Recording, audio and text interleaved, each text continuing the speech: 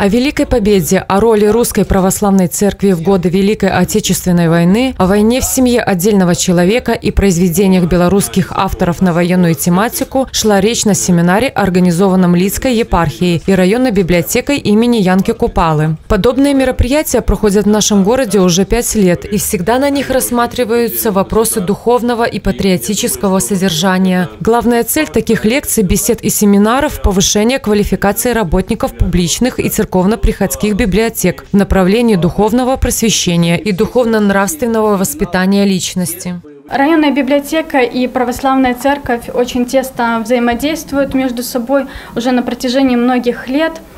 А, православная церковь а, предоставила библиотекам большое количество книг православной духовной литературы, которые пользуются большим спросом у наших читателей преддверии 75-летия Великой Победы организаторы семинара акцент сделали, конечно же, на теме Великой Отечественной войны. Его участники ознакомились с выставкой «Время и память», где была представлена литература о военных событиях и еще раз услышали о том, как эта тема раскрывается в произведениях белорусских авторов, а также вели речь о том, как подрастающее поколение чтит память своих предков, воевавших за мир и свободу. Была обсуждена и роль православной церкви в годы Великой Отечественной войны. Не для кого не секрет, что к началу Первой мировой войны русская православная церковь в Советском Союзе практически перестала существовать. Остались, осталось совсем немного храмов, совсем немного священнослужителей на свободе.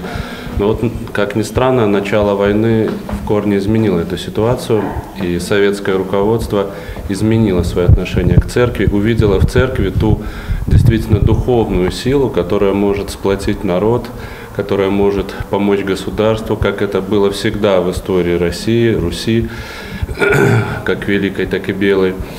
И действительно так и произошло.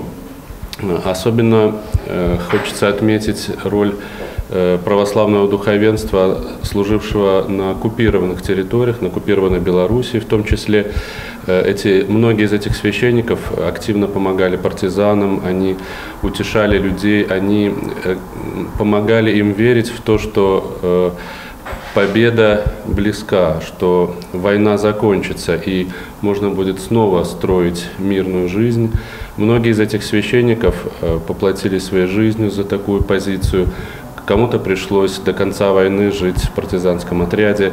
После войны многие из этих священников, награжденные советскими орденами, медалями, они э, открыто вспоминали об этом своем подвиге, рассказывали близким, окружающим, своим прихожанам и подчеркивали, что вот тот опыт, когда вроде бы безбожное государство, но обратилось к церкви и нашла в ее лице такую э, весомую поддержку, он как был в прошлом, так и Великая Отечественная война этот опыт снова явила, и он является опытом, который нельзя забывать и который всегда э, может быть использован. На семинаре было подчеркнуто, что вопросами духовного и патриотического воспитания подрастающего поколения должны заниматься не только педагоги, но и священнослужители, библиотекари, педагоги воскресных школ. Только общими усилиями можно будет сохранить историческое прошлое и уважение к тем, кто завоевал Великую Победу. Мы должны помнить победу, которую ковали наши для нас с вами предки. Все-таки она досталась нам непростой ценой. И для той победы, которую мы сегодня чтим, для той святой победы, великой победы потрудились многие люди. Это люди были и интеллигенция, и люди простые, и мужчины, и женщины, и даже дети. Люди, каждый в своем сословии, кто был ученым человеком и, может быть, трудился в должности конструктора, к примеру, создавали ту технику, которая на сегодняшний день уже является легендарной, и с помощью которой мы завоевали победу. А, люди, писатели, писатели и поэты, в частности, писатели и поэты нашей, наши белорусы. 15 ноября в Лиде пройдут пятые Лидские епархиальные рождественские чтения. Участники данного мероприятия будут вести разговор о предстоящем юбилее Великой Победы и подвиге белорусского народа в Великой Отечественной войне. Со своими докладами выступят профессора и преподаватели высших учебных учреждений Беларуси, в том числе и военные офицеры.